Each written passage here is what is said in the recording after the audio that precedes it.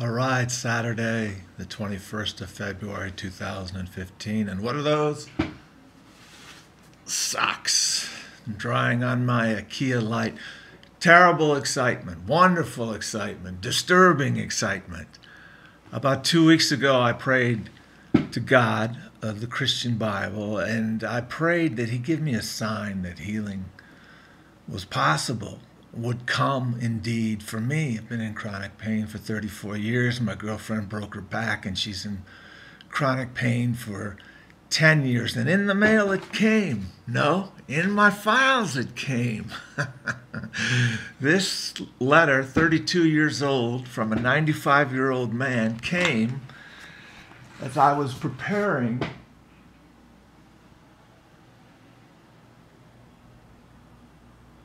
I can't go any further. It hurts my back.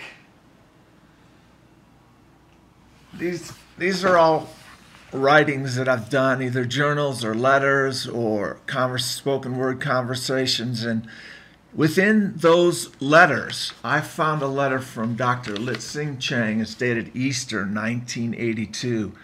I believe he was 95 years old when, when I met him in the uh, dining hall at, at, under the Towers of Gloom at Wheaton College, and I sat next to him and I thought, 90 years old, 91, 92, this guy must be a janitor. He didn't look that old, he looked about 70. And I thank God I let my bit my tongue. I asked him if he was a student. And he just roared, he guffawed with laughter and uh, he's happened to be Chinese with glasses. I'm trying to set the image in your mind. And he said, "Me a student? No, I uh, seminary president. You know, I can't do the accent." But uh, he is world renowned, and his writings will live forever. He's 95 and 82, so of course he's passed. But what he said in the letter was that greater is he who was in you than he who was in the world. Uh, and that he had a sense that I would be healed soon. This is 32 years ago. And then on the other side, it tells about his stuff when he had a broken back and uh, he was going to Wheaton, and all of his family told him not to go, his son.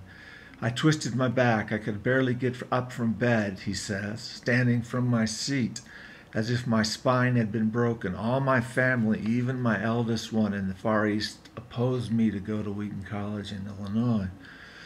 But the Lord will heal me in time, and that's what I trusted. As soon as I uh, got off my feet, the priests were dipped in the brim of water of Jordan. I was talking about a Bible verse. And the, um, after six days of prayer, I was led to open a care of the back.